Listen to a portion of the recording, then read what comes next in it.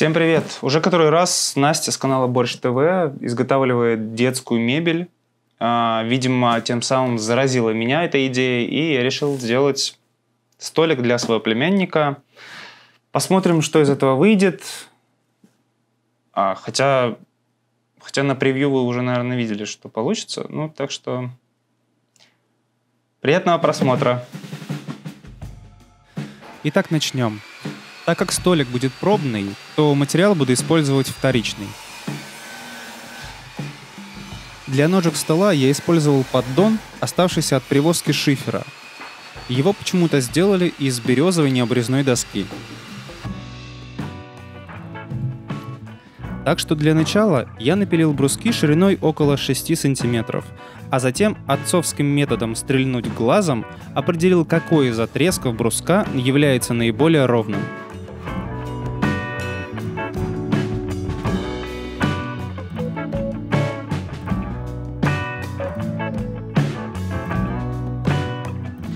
Высота столика будет 1 метр. Выводить в размер наши бруски не стоит. Лучше оставить маневр на косяки.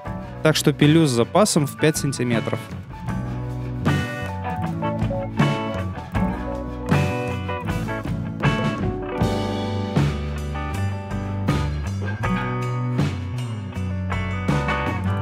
Если вы сейчас смотрите на экран и испытываете тревожные чувства, то это нормально – если бы я работал за этим монстром еще два года назад, то пеноблоки можно было бы и не привозить.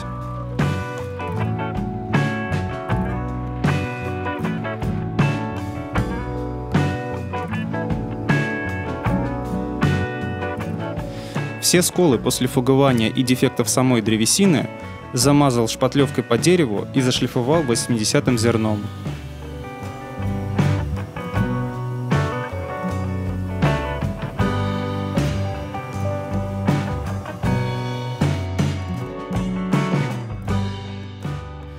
Далее перешел к раскрою 18-мм фанеры. Глубину ящика-столешницы я отрезал на распиловочном столе. Пилить поперек такой длинный лист на этом же станке будет неудобно, поэтому сначала распилю все с запасом лобзиком, а после выведу все в размер на том же распиловочном, используя каретку –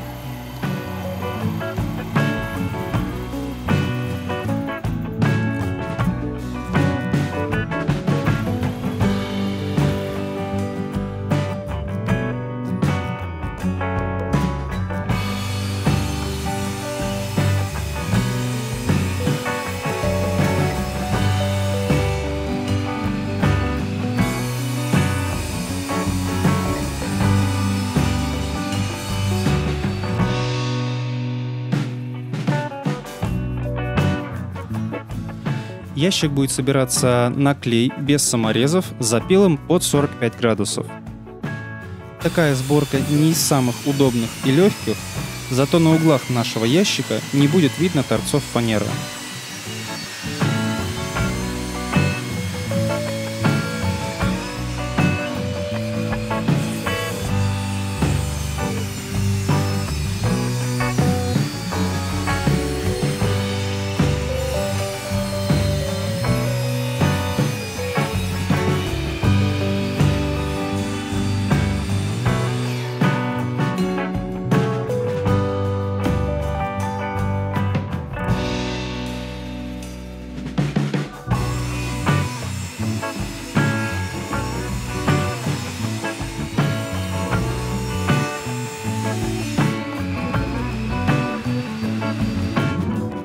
Проверяю, чтобы все детали нашего ящика сходились, и перехожу к шлифовке его внутренней части –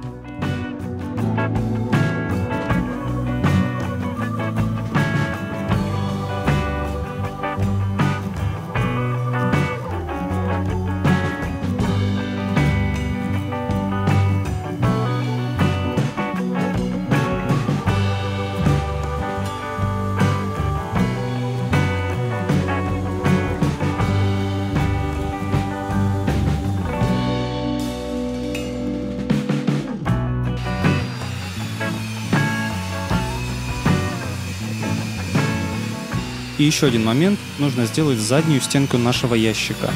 Для этого во всех четырех деталях я делаю пропил, в который встанет 6-миллиметровая фанера –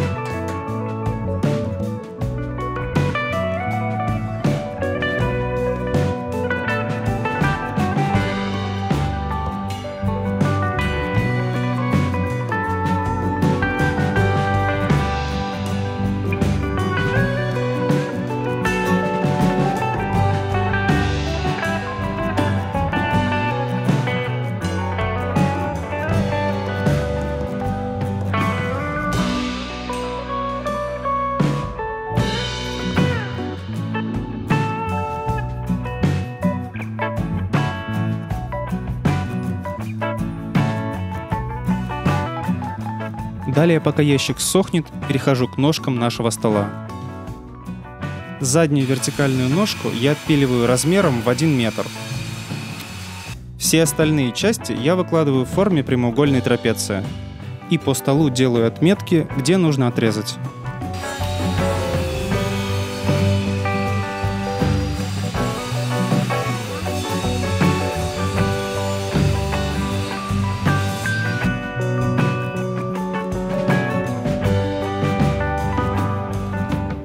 Собирать ножки я буду на шканты.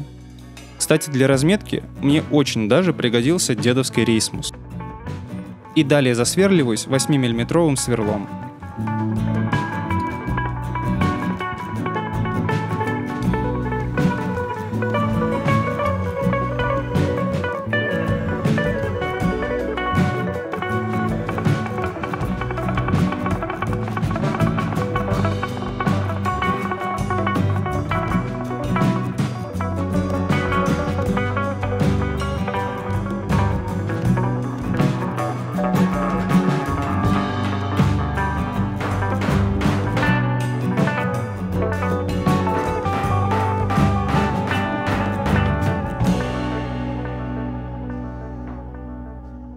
Стягивать соединение саморезами не было никакого смысла, так как никакой серьезной нагрузки это соединение на себя не принимает.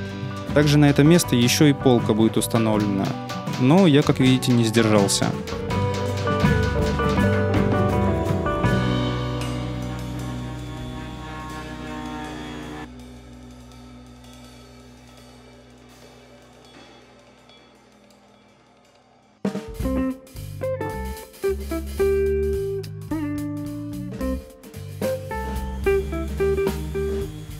После застывания клея перехожу к внешней обработке нашего ящика.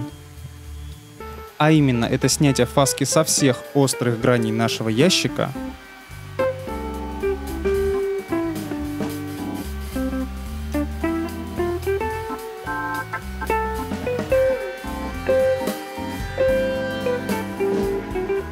шпатлеванием всех неровностей на нашей фанере –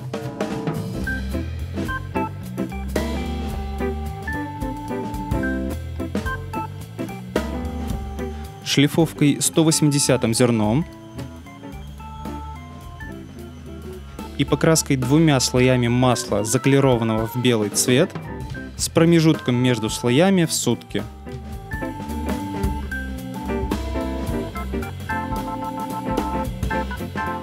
А пока масло сохнет, перехожу к обработке граней на наших ножках –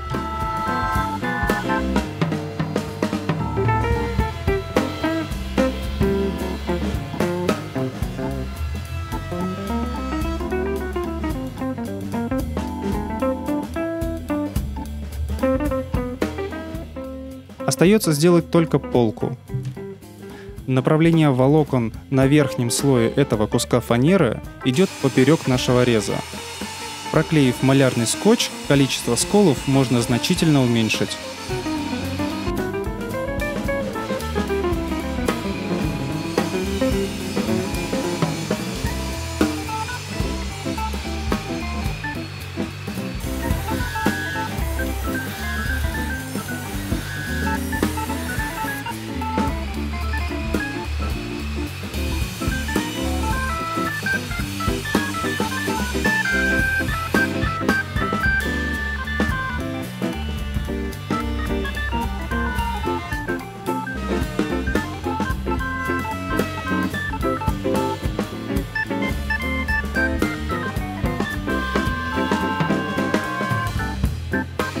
Полке будут участвовать круглые палки, которые будут являться ограничителями, например, для высоких книг.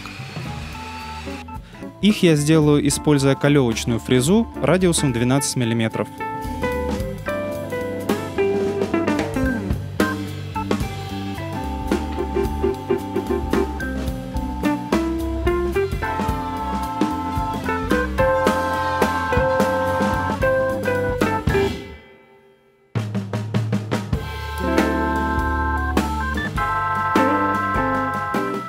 В сборке ничего сложного. Заднюю стенку на клей и шурупы, переднюю планку на клей и струбцины.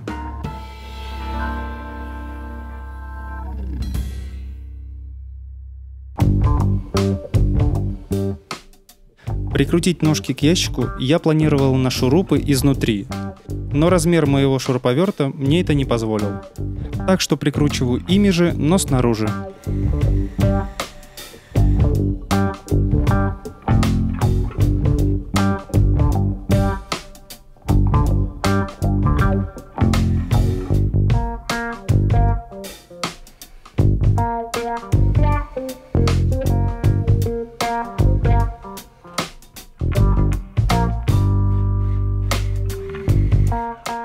Круглых палочек засверливаю сверлом Форснера на миллиметров 5. После вставляю их в посадочные места.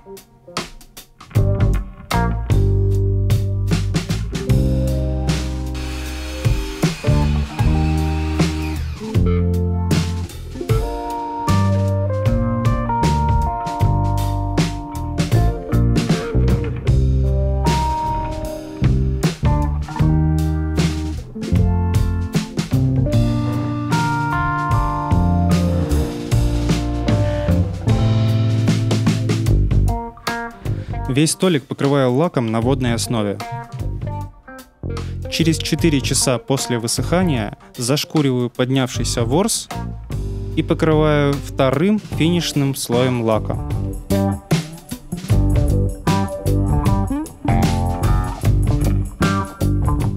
Так как я хочу привести эту модель к какому-либо серийному производству, будет здорово, если в комментариях напишите, что бы вы хотели добавить или изменить в этом столике. А на этом ролик подходит к концу.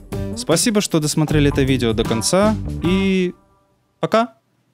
Сейчас экстренная новость. Я все проверил и, кажется, вы забыли поставить лайк и подписаться на канал. А из-за этого у меня постоянные мигрени. Исправьте, пожалуйста.